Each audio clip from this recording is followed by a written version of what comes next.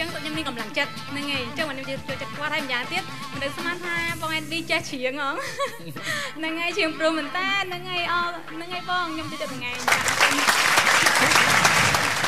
បាទសូមអរគុណចំណាប់អារម្មណ៍របស់ដួងតារាទាំង3ដ៏ស្រស់ស្អាតបាទធ្វើឲ្យតារាកិត្តិយសរបស់យើងនៅក្នុងស្ត្រីនេះគឺគាត់ពិបាកនឹងរៀបរែកចិត្តនឹងការជ្រើសរើសមែនទែនបាទព្រោះថាចំណាប់អារម្មណ៍ម្នាក់ម្នាក់នេះគឺសិតសឹងតែមានចំណុចសំខាន់សំខាន់រៀងរៀងខ្លួនដែលធ្វើឲ្យតារាកិត្តិយសរបស់យើងធ្វើការជ្រើសរើសបាទចាចំនួន3រូបនេះគឺបានតែមួយរូបទេចាបាទការពិតទៅសម្រាប់ចំណាប់អារម្មណ៍ នឹងការនិយាយស្ដីរបស់ដួងតារាទាំង3ដួងរបស់យើងដែលចូលមកនៅក្នុងអរិយត្រីនេះគឺនិយាយត្រូវចិត្តខ្ញុំទាំងអស់តែម្ដងសឹងតែគ្រប់ចំណុចតែនៅក្នុងនោះគឺមានដួងតារាមួយរូបដែលនិយាយទៅគឺមានចំណុចច្រើនធ្វើខ្ញុំត្រូវចិត្តហ្នឹងគេលើកគេតែមួយចំណុចពីរចំណុចទេបាទតារាណាទៅណោះក៏មិនទៅសោមមួយគាត់គាត់ទៅបកាយនិយាយដែរគាត់និយាយទៅដួងតារាយើងគឺសិតតែបកាយបញ្ចូលទាំងអស់នៅក្នុងយុគនេះ បាទសម្រាប់ដួងតារាដែលនិយាយធ្វើខ្ញុំមានចំណាប់អារម្មណ៍លើគាត់ខ្លាំងទៅវិញបាទគឺជាដួងតារាទីទី2អូ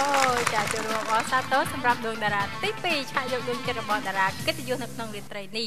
ចាមានចំណុចជាច្រើនដែលគាត់បានបង្ហាញទាំង3ដួងមូលហេតុអីបានជា ជ្រើសរើសយកដួងតារាទី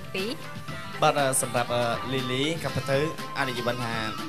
យើងស្គាល់គ្នាយូរតែមិនមែនដោយសារតែការស្គាល់គ្នាទេទើបយើង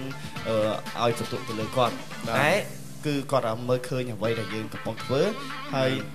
បើសិនជានៅក្រៅវិញគាត់ត្រូវថាយើងគាត់ ថាអឺបាយដៃដូចមិនទេដូចមិនសមគាត់ផាយើងគាត់គាត់ខ្លាចចិត្តណាបាទគុណចំចំដើម្បីចំចំកែប្រែបាទនេះគឺជាចំណុចខ្ញុំចាប់អារម្មណ៍ឲ្យជួបគាត់ឲ្យអំបីវិញគាត់ក៏បាននិយាយក្បោះក្បាយបានអអ្វីក៏ប៉ុន្តែมันបានទាំងសុងក៏ប៉ុន្តែប៉ុន្តែគឺច្រើនចំណុចដែលគាត់និយាយមកគឺត្រូវនឹងចិត្តចា ចាលោកអ្នកបានទទួលជ្រាបហើយពីមូលហេតុដែល NB ជ្រើសរើសដួងតារាទី2ចានៅក្នុងវគ្គនេះដួងតារាទី2បន្ថែមបានមួយបន្ទុកបន្ថែមទៀតបាទ ឃើញថានៅក្នុងវគ្គនេះរកឃើញអំពីដួងតារាដែលបានទទួលបន្ទុកពីតារាកិត្តិយសហើយនៅវគ្គបន្តនេះនៅបានជួបជាមួយនឹងខ្សែរឿង3រឿងដែលជារឿងពោះចិត្តរបស់តារាកិត្តិយសហើយនៅក្នុងវគ្គនេះក៏នឹងមានបន្ទុកជូនដល់ដួងតារាទាំង3រឿងដូចគ្នាដូច្នេះសូមអញ្ជើញទស្សនាជាមួយនឹងក្រុមកំ pl របស់យើងដែលនឹងបង្ហាញអំពីរឿងពោះចិត្តរបស់តារាកិត្តិយសដែលនៅក្នុងវគ្គនេះនាំមកជួយទស្សនាដោយសម្លេងអនាម័យ Gaga Gaga ស្រស់ថ្លារាល់ថ្ងៃស្ដើងទន់រឹបស្និទ្ធស្ងួតងាយស្រួល